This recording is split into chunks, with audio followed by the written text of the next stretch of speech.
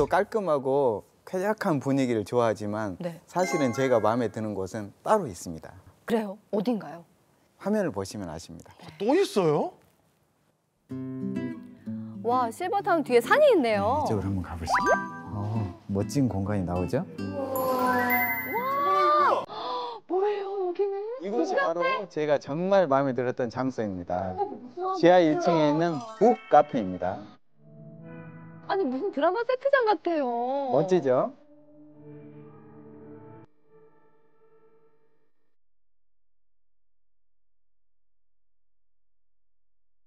아니 지금 저 이거 무슨 컨셉이에요? 뭐 드라마 흉내 내시는 것 같은데? 어머 세상에 구두도 예쁘네. 설마 공찬성 씨가 나올까요? 공찬성이면 설마 공파님을 지금 키워줘야 돼요. 공찬성. 숙녀가 계단 내려오는데 에스코트 안 해줄 거야? 어 진짜 하나부터 열까지 다 가르쳐줘. 꽁찬성이에요 꽁찬성. 좀 전까지 로맨스였는데. 공파님. 그래 공찬성 씨 왜 이렇게 꽁트가 늘으셨어요? 오늘 여진구 씨세요? 네. 공진구잖아요 공진구. 드라마 섭외 들어오겠는데요 곧? 실버타운 안에 있는 북 카페입니다. 와 북카페. 진짜 멋지다. 아, 카페도 있고 책도 있고 저처럼 이렇게 지적인 사람한테 너무 잘 어울리는 곳이네요. 소영 씨한테 딱 맞는 곳이죠. 오. 이분도 연기자신가요? 이분은? 아니요, 입주자분들이세요. 그치 그치 그치. 우리 어머님은 75세시네요. 일은 중반이 넘으셨는데도 굉장히 젊어 보이시죠? 실버타운에 빠질 수 없는 장점이라면 이렇게 다양한 동호회 활동이 가능하다는 점이죠. 사람들과 만나서 친목도 다지고 취미생활도 함께하면서 건강한 삶을 사는 것 시니어의 필수 삶이죠. 음. 안녕하세요. 안녕하세요. 아 안녕하세요. 어 여긴 또 어딘가요? 인가 봐요. 미술 동호회. 자, 이번에 저희가 찾아간 곳은요 미술 동호회였는데요. 단순히 취미 활동을 넘어서 전시회 활동까지 활발히 활동을 하고 와 계시더라고요. 실력이 진짜 수준급이신데요? 어머 잠깐만 뭐가 사진이고 뭐가 신문인지 지금 전혀 모르겠어요. 그림 속에 이 아이들이 진짜 사람 움직이는 것 같아요. 네. 오. 어우 아 차가. 어우 자꾸 물을 뿌리네 이 아이들이. 그럼 여기서 배우신 거예요? 아니면 그냥 독학하신 거예요? 아 배웠지요. 어, 수업이 있으시구나. 선생님이 있었어요. 아 선생님. 선생님 계셨어요. 그러면 그 전에는 그림을 안 그리시다가 예. 안 여기 그래요? 실버타운 들어오신 다음에 예. 그때부터 그리신 예, 거네요. 그때 아버님은 그리신 지 얼마 되셨어요? 나는 한 20년 아, 그럼 실버타운 들어오기 전부터 아, 그림 그- 그렇죠. 취미 생활이셨고 어, 다- 여기 실버타운 들어오고 나서 취미 생활할 여건이 더 좋아지신 건가요? 좋아졌죠. 응. 사실까지 가면- 하려면 굉장히 뭐 가야 돼. 왔다 갔다 하시기가 이거 힘드셨는데 뭐- 뭐- 엘리베이터 타고 쫙 내려오면. 그렇죠. 타, 타고 아 이렇게 잘 그려도 되나? 아, 다 저도 잘 그리고 있어요 지금 공빠님이요? 잘 그리려고 잘 그려. 다시 한번 뭐예요 설마? 베레 모드 화가가 됐죠? 네. 이번엔 저희가 서로 직접 서로의 얼굴을 그려주는 시간을 가져봤습니다. 우리 공빠님께서 그림 그릴 때 뒤에서 많이 웃으셨거든요. 너무 궁금한데. 저는 이해가 안 됩니다 지금. 자 과연 겉으로 보게. 겉으로 보기엔 이쪽이다. 자 그럼 바로 공개 한번 해볼까요? 예, 예. 하나, 둘, 셋. 자 과연 아 저게 뭐예요? 아버님이 보셔야 될 것 같아요. 지금 오 아이고 이거 이거 잘 그리네. 이건 이거지. 지금 공빠님. 잠깐만요, 공화백 씨. 이게 뭡니까? 아니 코가 지금 어떻게 된 겁니까 이게? 처음에 잘 그렸는데 더 느낌 예쁘게 있어요. 그리려고 예 약간 좀 수상화 같기도 하고요. 특징을 살렸는데 좀 어? 근데 이렇게 보니까 잘 그리셨는데요? 잠깐만 좀 닮은 것 같기도 하고. 데칼코만인데? 저는 아주 잘 그렸다. 안녕하세요 어머님. 예. 아 드디어 내부를 보는군요. 아우 초대해 주셔서 너무 감사드려요. 예, 반갑습니다. 어서 들어오세요. 아 들어가도 될까요? 네, 안녕하세요. 아, 과연 구조는 보세요. 여기가 거실. 아 아늑하다. 너무 좋죠. 어, 밖에 풍경이 끝내주네요 어머니. 밖에 풍경이 사계절 다 달라요. 어, 한번 구경해봐도 될까요? 네, 밖에 구경하시면 도시락은 농촌을 겸했어요. 아 그러네요 아버님. 그래서 조금만 나가면 여기 그 서구청역 있고 시내가 또 있잖아요. 예. 여기가 이제 네. 금방 어, 찜실가. 네. 자, 여기가 바로 안방인데요. 정말 깔끔하죠? 너무 여기서 또, 어, 여기서도 또. 어머머머, 진짜 바깥에 뷰가 보이니까 음. 너무 좋은데요? 네. 어머! 여기는 저는 이 통로가 어. 굉장히 마음에 들었어요. 야, 이렇게 통로가 또 있네요. 구조가 아주 편리하게 돼 있어요. 여기는 드레스룸인가요? 네. 아, 여기가 이제 아버님의 공간이. 저 옆에 책들이 다 아버님이 직접 쓰신 책이에요. 여기가 네. 보통 저기 한 달 90씩인데 네. 45씩이 의무니까 예. 나머지는 그냥 여기서 해먹기도 하고 외식도 하고 그러죠. 두 분이 입주하신 지 2년 차신데 네. 처음에는 실버타운에 대한 생각이 서로 다르셨대요. 그래요. 우리 남편이 여러 해 동안 이제 이런 시니어 예. 타운을 알아보고 그랬어요. 아, 그러셨군요. 아버지가 네. 직접 알아보셨어요. 멋지시다.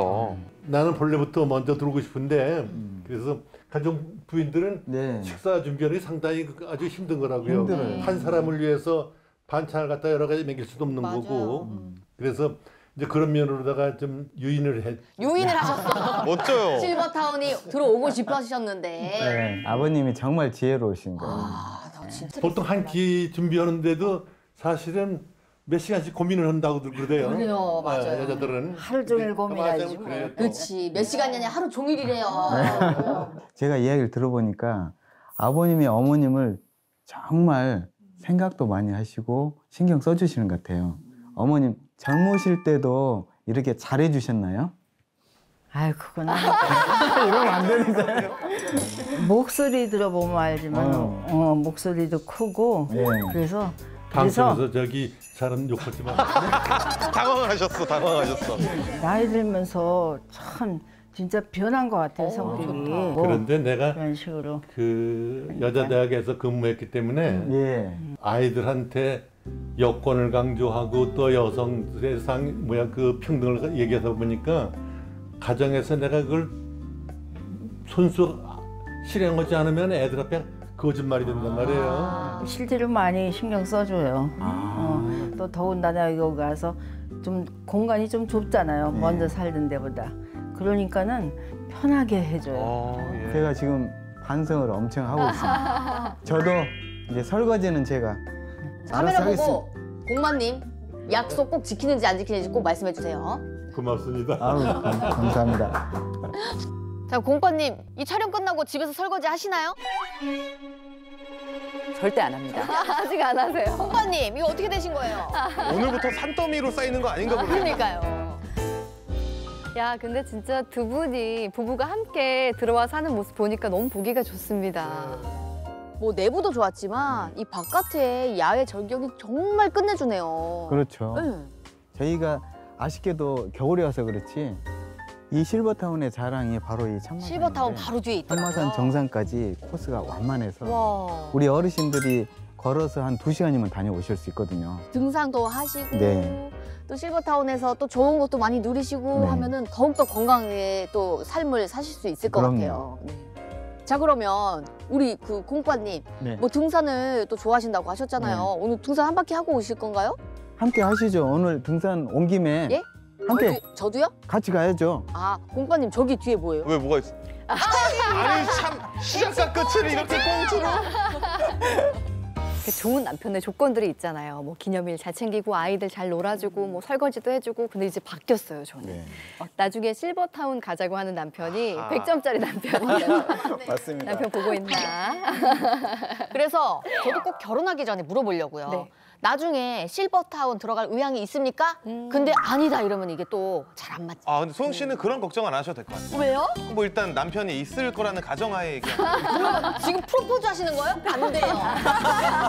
네, 근데 영상 보시고 혹시 실버타운이 자연 속에 있어서 교통이 불편하지 않을까 걱정하시는 분들이 있으실 것 같은데요. 음. 전혀 그런 걱정하실 필요가 없습니다. 인천 지하철 2호선 네. 서구청역에서 걸어서 한 16분 정도 거리에 있고요.